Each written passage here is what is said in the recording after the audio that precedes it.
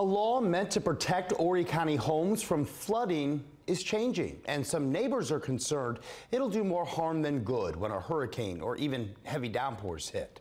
WMBF's Ian Klein is live in Horry County at the Aberdeen Country Club, and Ian, homeowners in the community know just how damaging floodwaters there can be.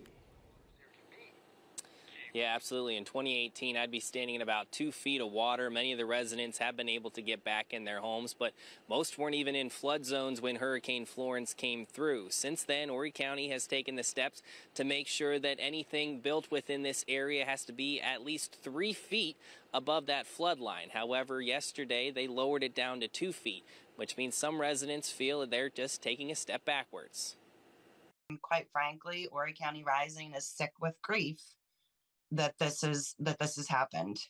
April Leary was one of thousands whose home was damaged by Hurricane Florence, not by the wind or the rain, but the record floodwaters that followed the storm. It's really frustrating for us because essentially this decision puts a lot more people in harm's way and vulnerable to flooding. The change comes less than two years after Horry County Council unanimously made updates to its flood prevention ordinance for the first time in 30 years.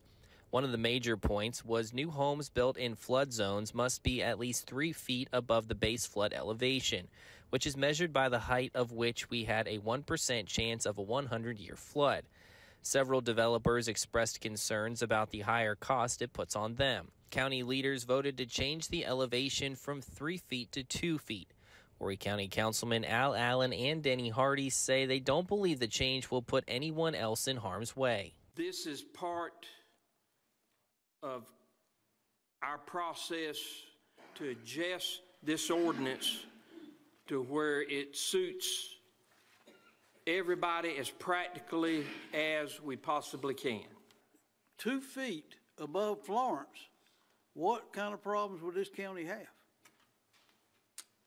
I mean, flooded homes would be the least because you it would be immobile. You couldn't go anywhere. O'Leary says her biggest concern with the change isn't the impact it would have on the county's supplemental flood zone, but the update on the FEMA flood zones. Our supplemental flood zone is based on Florence 2018 most historical flood high water levels. A two foot standard applied to the supplemental flood zone would put us two feet over Florence high water levels.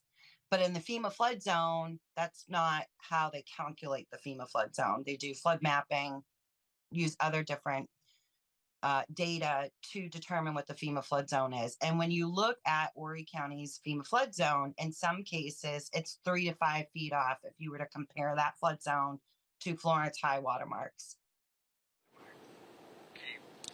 Now, despite a lot of residents showing up to express their concerns, Horry County Council ended up approving all the changes by a vote of 9 to 3. Councilman Al Allen said they did meet with FEMA during an executive session and they were told that some of these changes should not impact those with flood insurance policies. They also just spoke to a woman who just walked by not too long ago. She said she'd also like to see a partnership with the North Carolina waterway. She feels a lot of the flooding that came down here was the way that they mitigated their water that came down during Florence, ultimately flooding them out. Live in Horry County tonight, Ian Klein, WMBF News.